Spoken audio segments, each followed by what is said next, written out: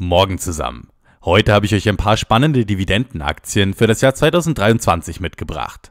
Damit meine ich übrigens nicht, dass diese Aktien in 2023 besonders toll performen werden. Niemand kann das wirklich vorhersagen. Vielmehr meine ich, dass ich aktuell eine gute Möglichkeit sehe, langfristig an Top-Unternehmen zu partizipieren.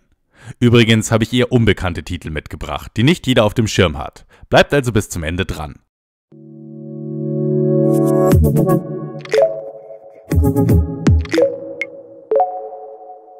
Bevor wir loslegen, wie immer noch schnell den obligatorischen Daumen nach oben und ein Abo dalassen. Noch immer ist die Glocke bei den meisten von euch aus und so riskiert ihr ein Video zu verpassen. Jetzt gleich anmachen. Und jetzt rein in die Aktien. Starten wir mit der ersten Aktie, Yara International, ein Unternehmen aus Norwegen, an dem der norwegische Staatsfonds knapp ein Drittel der Anteile hält. Das Unternehmen ist ein Hersteller und Anbieter von Chemikalien und Industriegasen wie Dünger, Harnstoff, Nitraten und Ammoniak. On top dazu bietet man immer mehr digitale Lösungen an, um seine Kunden zu unterstützen. Vor allem im Bereich Düngemittel und hier im Bereich digitalem Farming. Zum Beispiel kann ein Landwirt mit Hilfe von Sensoren und einer Plattform feststellen, wo er noch düngen sollte und wo schon genügend Nährstoffe im Boden vorhanden sind. Ebenfalls werden die Produkte von Yara im Bereich Tiernahrung verwendet und das altbekannte AdBlue für Dieselfahrzeuge gehört auch zum Portfolio. Weitere Zielmärkte sind die Sonarbranche, die Baubranche und generell alle, die Chemikalien verwenden. Ich würde Yara als Chemiekonzern mit aber starkem Fokus auf Dünger beschreiben. Hierbei ist man übrigens weltweit unter den Top 10 der Hersteller nach Produktionskapazität pro Jahr. Das heißt, man ist ein eher global aufgestelltes Unternehmen. Ungefähr 10 Milliarden Umsatz kommen aus USA, 7 Milliarden aus der EU und 4 aus jeweils Asien und Afrika, also wirklich breit diversifiziert. Die letzten Quartalszahlen waren dann super stark. Obwohl die Firma schon sehr groß ist, ging der Umsatz um knappe 40% nach oben und war deutlich besser als erwartet wurde. Die Dividendenstrategie sieht eine Basisdividende vor und dann je nach Geschäftslage eine Spezialdividende on top, so wie es auch für das Fiskaljahr 2022 wieder der Fall sein soll. Beim heutigen Kurs kommt man auf knapp 9% Dividendenrendite, was wirklich enorm hoch ist. Das entspricht etwa 50% vom Gewinn aus dem letzten Jahr Ausschüttungsquote. Mit einem Kurs-Gewinn-Verhältnis KGV von 4,4 ist die Aktie ebenfalls in meinen Augen günstig bewertet. Die nächste Aktie ist Extra Storage Space. Wie im Namen Storage schon steckt, betreibt man sogenannte Self-Storage-Anlagen in den USA. Das ist dort ein gigantisch großer Markt. Gefühlt jede zweite Familie dort hat ein abschließbares Abteil, beziehungsweise eine Garage in so einem Garagenpark. Extra Storage Space ist hier hinter Public Storage die Nummer 2 auf dem Markt, mit einem Marktanteil von 8,7%.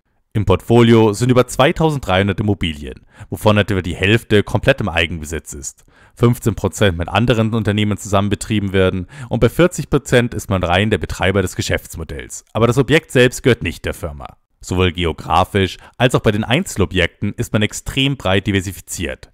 Es gibt kaum Klumpenrisiko, da alle Objekte ungefähr gleich viel Umsatz einbringen. Das Wachstum an Objekten ist übrigens beachtlich. Jedes Jahr kommen erneut gute 10% mehr in den Bestand. Viel über Aufkäufe, Expansionen und neue Zielmärkte. Logischerweise bringen mehr Objekte auch mehr Mieten. So konnte der Funds from Operations FFO, hier in grün dargestellt, stärker wachsen als von anderen Industriewettbewerbern. Nicht nur stark, sondern noch extrem linear und planbar. Aus diesem starken Wachstum heraus wurde dann noch regelmäßig die Dividende nachgezogen. Das Unternehmen ist ein wahres Dividendenwachstumswunder. Erst letztes Jahr ging die Dividende um 50% nach oben. Aber auch im 5- und 10-Jahres-Durchschnitt waren die Ausschüttungssteigerungen wirklich beachtlich. Aktuell ist die Aktie wieder etwas zurückgekommen und kommt nun auf eine Dividendenrendite von 4%.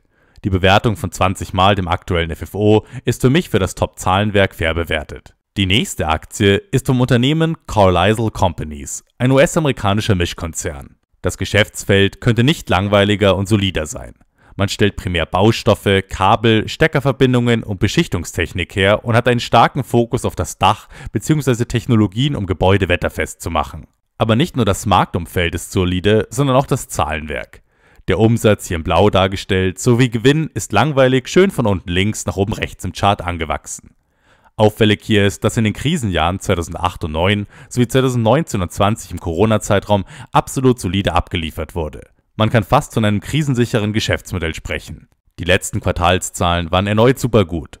Umsatz ging 36% nach oben und die Earnings per Share konnten um fast 90% gesteigert werden. Die Dividende ist aktuell zwar nur in Anführungszeichen bei 1,2%, dafür ist das Ganze aber ein klasse Wachstumskandidat. Die Dividende wird seit über 46 Jahren kontinuierlich gesteigert und die Ausschüttungsquote von gerade einmal 15% lässt noch viel Luft nach oben zu. Erst kürzlich wurde dann die Dividende zum Beispiel um stolze 40% gesteigert. Hier lohnt es sich also dabei zu bleiben. Und zudem darf man ja auch nicht vergessen, wie stark die Firma beim Umsatz wächst. Das ist eine Mischung aus Dividendenaktie und Wachstumsaktie. Die Firma kommt auf eine Market Cap von 12,7 Milliarden Dollar bei einem Umsatz von 6,5. Bewertung mit Kurs-Gewinn-Verhältnis von 15 und mit dem prognostizierten Gewinn für nächstes Jahr von ungefähr 12. In meinen Augen dann doch wieder sehr günstig bewertet. Der nächste Titel ist JDE Peets, ein Unternehmen mit Sitz in Amsterdam. Man ist eine der größten und bekanntesten Firmen der Welt im Bereich Kaffee- und Teekonsum. Zum Portfolio gehören Marken wie Senseo, Tassimo und Jacobs. Weltweit kennt man den Namen Peets selber noch mal mehr als bei uns. Der Umsatz ging im letzten Update um 19,3% nach oben, auf knappe 4 Milliarden Euro. Das Geschäftsmodell Kaffee und Tee lässt natürlich keine gigantischen Überraschungen mehr zu, aber durchweg ist das Zahlenwerk solide.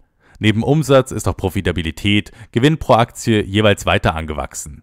Die aktuelle Dividendenrendite ist mit 2,77% angenehm hoch und die Bewertung der Aktie mit einem KGV von 16 fair bewertet in meinen Augen.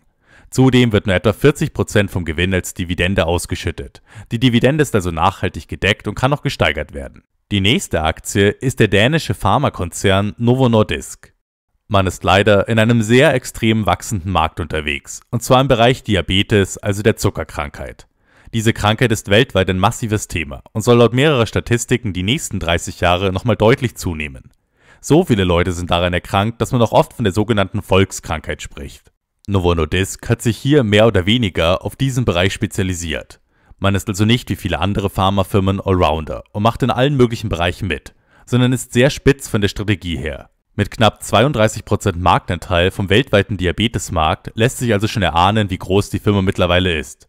Man nimmt über die Jahre hinweg immer mehr an Marktanteilen auf. Der zweite Zielmarkt von Novo ist der Bereich Obesity Care, also das Behandeln von Übergewicht. Auch dieser Markt ist leider stark am Wachsen und Novo profitiert hier massiv. Denn der Umsatz ging in diesem Segment allein in 2022 um ganze 84% nach oben. Die letzten Quartalszahlen waren dann erneut super stark. Umsatz ging 25% im Jahresvergleich nach oben. Der Gewinn ebenso. Für das nächste Fiskaljahr geht man erneut von gutem Wachstum aus. Und bis zu 20% Wachstum soll beim Umsatz im Operation Profit drin sein. Das ist für die Größe der Firma schon wirklich stark. Die Erfolgsstory sollte also weiterlaufen. Die Dividende ist hierbei im Novo Nordisk Management von großer Bedeutung. Neben zahlreichen Aktienrückkäufen gibt es neben der normalen Dividende on top immer noch eine zweite Auszahlung als Zwischendividende. Allein in 2022 wurde die Dividende pro Aktie um 19% gesteigert.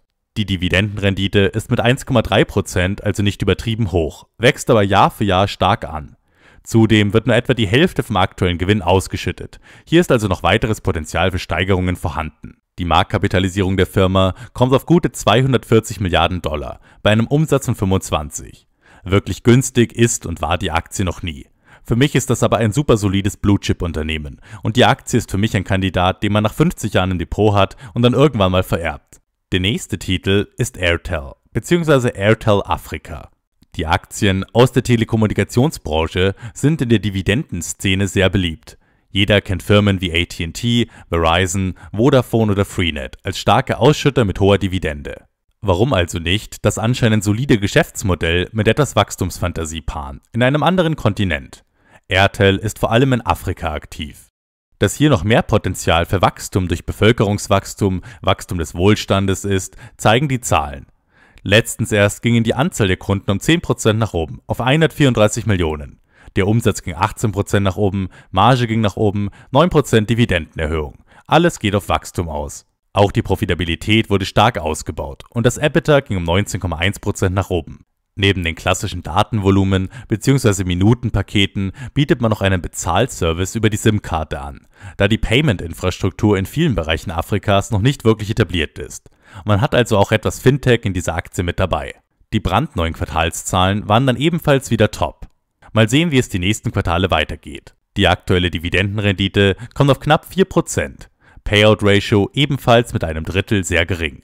Und ein KGV von 7 ist durchaus günstig für das aktuelle Wachstum. Die nächste Aktie heißt Medtronic, ein leider immer sehr teuer bewertetes Qualitätsunternehmen aus dem Bereich Medizintechnik. Gutes ein Drittel kommt aus dem Bereich Medical Surgical, wo Technik für Operationen hergestellt wird. Und gut ein Drittel aus Geräten für den Bereich Herz-Kreislauf. Das Produktspektrum ist hier breit gefächert. Von Analysegeräten, Apps, Kameras, Sensorik ist alles dabei, bis hin zu ganzen Robotern und Maschinen. Die Dividende beträgt aktuell über 3% und Medtronic ist bekannt als typischer Dividendenwachstumskandidat. Seit über 46 Jahren wird stetig erhöht, mit im Schnitt 10% pro Jahr die letzten 10 Jahre. Die letzten Quartalszahlen waren dann eher durchwachsen. Vor allem negative Wechselkurseffekte haben das Zahlenwerk belastet und der Ausblick wurde etwas korrigiert. Aber Qualitätsaktien gibt es auch nicht günstig, wenn alles rosig ist. Die Market Cap beträgt 108 Milliarden Dollar bei einem Umsatz von 30 Milliarden. KGV Kurs-Gewinn-Verhältnis aktuell 25, mit einem Forward-Looking KGV als mit dem prognostizierten Gewinn für nächstes Jahr von 15. Für Medtronic ist es eine deutlich geringere Bewertung, als es die letzten Jahre noch der Fall war und am unteren Ende der KGV-Schwankung angelangt. Für langfristig orientierte Anleger definitiv aktuell einen zweiten Blick wert. Der nächste Titel ist Randstadt, ein niederländisches Unternehmen im Bereich Personal und Human Resources. Das Unternehmen vermittelt unter anderem Zeitarbeitskräfte, betreibt Headhunting und berät Firmen in Personalangelegenheiten. Im Bereich Human Resource Services ist man weltweit die Nummer 1 und die Zahlen sprechen für sich über 650.000 Mitarbeiter, die täglich arbeiten unter der Randstadtfahne und 276.000 permanent vermittelte Kandidaten. Alles alleine im letzten Jahr. Die Aktivitäten sind hierbei auch global verteilt.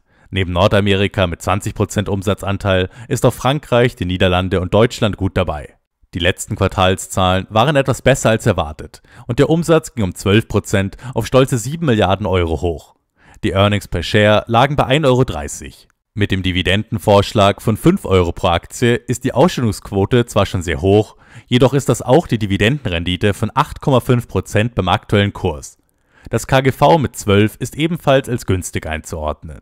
Die nächste Aktie ist BlackRock, eine international tätige US-amerikanische Investmentgesellschaft mit Sitz in New York City.